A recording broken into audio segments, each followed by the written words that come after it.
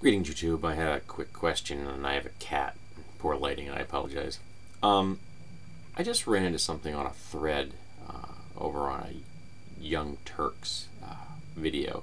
It got me thinking. In my long, storied life, I've encountered numerous people that put certain groups outside the big tent that is Christianity. And the two groups I can think of that are often put on the outside of that tent are the Catholics and the Mormons, who are Christian. Flat out. They are Christians. But I'm intrigued why some people put them outside the big tent that is Christianity. Um, so I'm curious do anyone does anyone here on my channel, or anyone who sees this video, consider Catholics and Mormons to be Christian?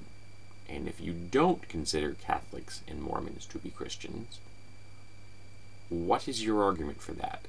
I'm not trying to start a fight. I'm honestly trying to figure out how people can justify putting the Catholics and the Mormons on the outside of the big Christian tent. Because Folks, they belong on the inside.